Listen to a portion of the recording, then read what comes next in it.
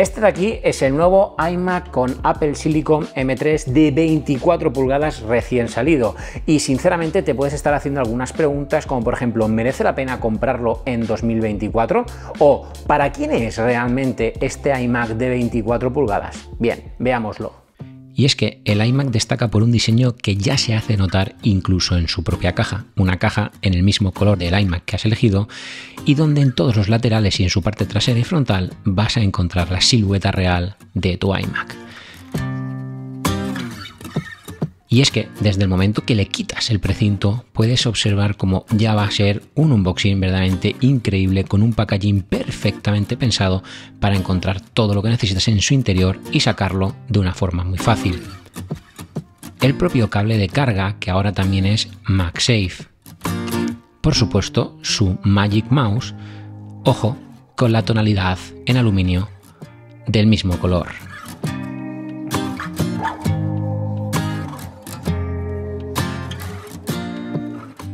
Y sí, un teclado que ya cuenta también, en este caso, con el mismo color azul en sus laterales de aluminio y que te dan paso a pensar que va a ser un color azul verdaderamente espectacular. Y llega el momento de levantar. Y por supuesto, de ver la pantalla.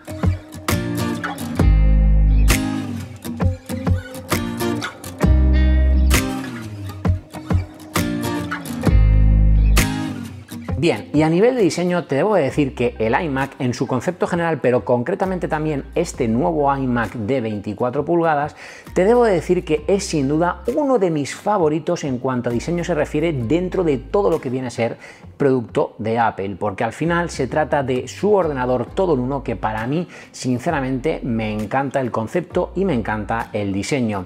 Está diseñado para ser funcional con tan solo un cable, un cable que además ya viene trenzado que además en su base tiene también la capacidad de conectar RJ45 para que al final puedas utilizar este equipo conectado a internet a través de cable para poder conseguir mejores tasas de velocidad. Pero ojo, otra cosa que es fascinante a nivel de diseño, que sinceramente yo que vengo de un iMac de mediados de 2011 agradezco, es que ya no tenemos una conexión por cable común, sino que tenemos una conexión también mediante tecnología MagSafe o imantada. Y eso sinceramente facilita mucho la labor. La labor entre otras cosas, de poder llegar a transportar este dispositivo o este ordenador de un sitio de la casa a otro, porque sí, pese a que es un ordenador de sobremesa, en un momento determinado, como me pasa a mí muchas veces, puedes necesitar cambiarlo, pues no sé, del salón a la cocina, de la cocina a la oficina, en cualquier caso, moverlo es más fácil que nunca gracias a ser un dispositivo de un solo cable. Y hablando de cables, algo destacado es que también nos viene un cable trenzado en el mismo color azul que es este equipo para poder cargar nuestros accesorios accesorios, como el teclado y accesorio también como el Magic Mouse. Ambos te debo decir que se siguen cargando mediante conexión Lightning y que a nivel de diseño hay dos factores importantes. Uno, la base de aluminio es en el mismo tono del color que has comprado el iMac y dos, que salvo que compres el iMac de entrada que no lo lleva, el resto de iMac sí cuentan con Touch ID en el propio teclado que te viene incorporado en este iMac y eso también es un punto muy interesante porque a mí sinceramente el Touch ID dentro de un Mac o de un MacBook me encanta y esto lo lleva. Los accesorios funcionan francamente increíble. Además, son muy minimalistas, especialmente en teclado. Y si bien es cierto que yo generalmente, porque lo utilizo mucho, me gusta tener el teclado numérico, también lo podría comprar con teclado numérico, debo decirte que sería lo único que he hecho en falta de este teclado. Porque por lo demás, no solamente es muy pequeño y muy minimalista, sino que también te debo decir que la pulsación, la sensación de escribir con el teclado es verdaderamente increíble. Pero claro, un iMac es un ordenador que lleva incorporada también la propia pantalla o el monitor. Y cuando hablamos de la pantalla, no solamente tienes que saber que es de 24 pulgadas, que también lo tienes que conocer, sino que también tiene una resolución de 4,5K que francamente se ve espectacular.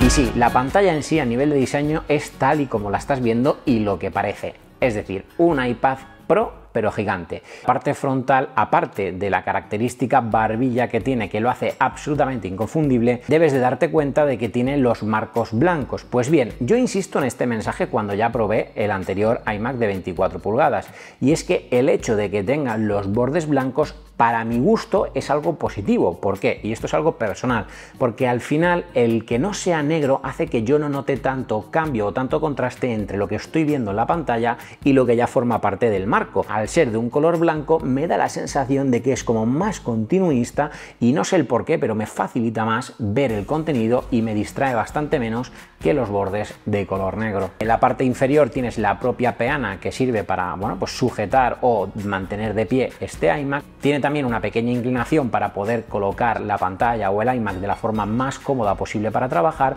y en la parte trasera encontramos no solamente la manzana, el logotipo de Apple en el mismo color que el iMac que has comprado, sino que también encontramos las conexiones. Concretamente encontramos cuatro conexiones. Por un lado tenemos dos USB tipo C que son 2.0 y luego encontramos otros dos USB de conexión tipo C, pero que son Thunderbolt 4.0. Y eso es algo muy interesante, sobre todo para transferir datos a alta tasa de velocidad. Y por cierto, en el lateral izquierdo encontramos también el conector de auricular 3.5 o también conocido como el conector de jack, que por cierto en esa misma esquina, pero por la parte trasera, es donde vas a encontrarte siempre el botón de encendido o el botón de power o apagado o como lo quieras llamar. Y otro punto en diseño que me gusta también destacar, porque al final lo utilizamos mucho para eso, es que la cámara que incorpora este iMac es una cámara Full HD, es decir, 1080. Y también es verdad que incorpora unos micrófonos que concretamente están en la parte superior, que al final entre unos y otros, oye, hace que puedas hacer cualquier tipo de conferencia, llamada en una muy buena calidad, tanto de audio como de imagen sin ningún problema. Ahora bien, yo sí que he hecho en falta un pequeño plus aquí, si no tanto a un 4K, quizás a un 2,4K para intentar, oye, mejorar un poquito la calidad de la imagen, porque al final incluso personas como yo hacemos retransmisiones de directos a través de este tipo de cámaras. Por tanto, oye, un poquito más sería genial. Pero bien, la pregunta del millón que nos solemos hacer cualquier persona que está pensando en comprar un iMac es, vale, ¿realmente para quién es un iMac? ¿Qué tipo de usuario es el que tiene que utilizar un iMac y no por contra un MacBook conectado a una pantalla? Pues mira, al final el iMac está pensado para todas aquellas personas que lo que no queréis es complicaros la vida. Sí, así de sencillo.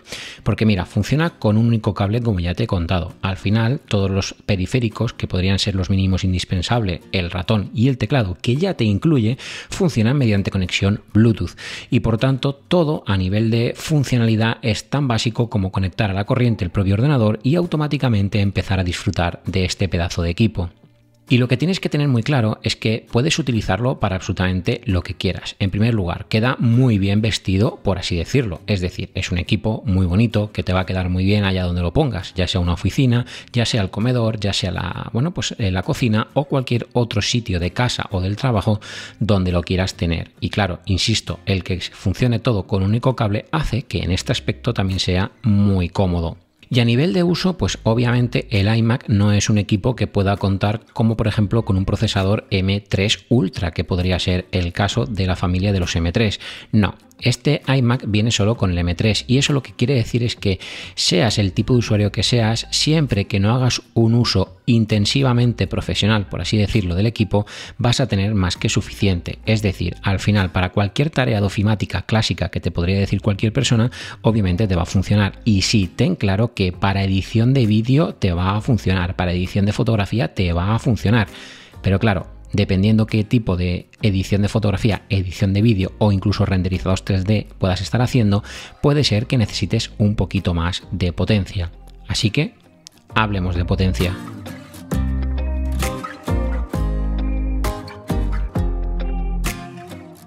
Pero ¿quiere decir todo esto que el iMac no tiene potencia? Pues bien, absolutamente todo lo contrario. Mira, te lo voy a dejar absolutamente claro. El iMac de 24 pulgadas y especialmente ahora que lleva el Apple Silicon M3 es un equipo absolutamente potente. Pese a que es cierto que no tiene un M3 Pro o un M3 Max, ni mucho menos un M3 Ultra, eso no quiere decir que no podamos utilizar este iMac para lo que queramos. Obviamente, si vamos a someterlo, por ejemplo, a edición en 8K, a renderizado en 3D, de forma constante como pilar fundamental de su trabajo, pues obviamente se nos va a quedar corto. Pero cualquier persona que quiera editar vídeo, editar fotografía, que quiera incluso, como te decía, el propio renderizado 3D, siempre que no sea algo 24/7, todo ese tipo de trabajo lo vas a poder hacer sin ningún problema con este iMac con M3. Es más, pese a que este equipo que yo he estado probando es de 8 GB de memoria RAM, lo puedes configurar hasta 24 GB de memoria RAM. Y en cuanto al disco duro, lo puedes configurar desde los 256 GB de partida hasta los 2 teras de almacenamiento. Eso sí, te lo debo decir, los 256 GB, que además lo he estado probando, se quedan sumamente cortos si eres una persona que trabaja frecuentemente con algo de fotografía de vídeo. Y cuando te digo trabaja me refiero incluso a nivel usuario. En nada que tengas algo de vídeo o en nada que tengas varios proyectos en el ordenador vas a tener una falta de almacenamiento. Por tanto, recomiendo encarecidamente el iMac, pero recomiendo encarecidamente plantearte empezar como almacenamiento mínimo los 512 GB de almacenamiento. Menos que eso me parece insuficiente. Bueno, salvo que seas una persona que tiene absolutamente todo el contenido en la nube. En ese caso, ningún problema. Por tanto, a nivel de potencia, te lo resumiría como cero problemas vas a tener con este iMac M3 de 24 pulgadas. Así pues, como ves, al final se trata de un equipo todo uno que es verdaderamente espectacular y que sinceramente, si eres una persona que no quiere ningún tipo de complicación, que quiere una buena potencia para no solo hacer cosas básicas, sino que en un momento determinado poder hacer algo un poco más premium, que quiere tener ese nivel de premium, pero también a nivel de diseño, que puedas mostrar tu ordenador, que puedas disfrutar de cómo se ve tu ordenador, tu equipo en la mesa, en la cocina o allá donde lo pongas, sin lugar a alguna dudas, este iMac de 24 pulgadas es un equipo perfecto.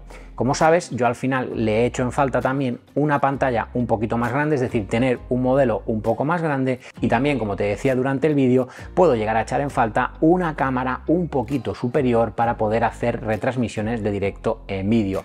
Pero por lo demás es un pedazo de equipo que sin duda alguna es uno de mis favoritos, pero con mucha diferencia.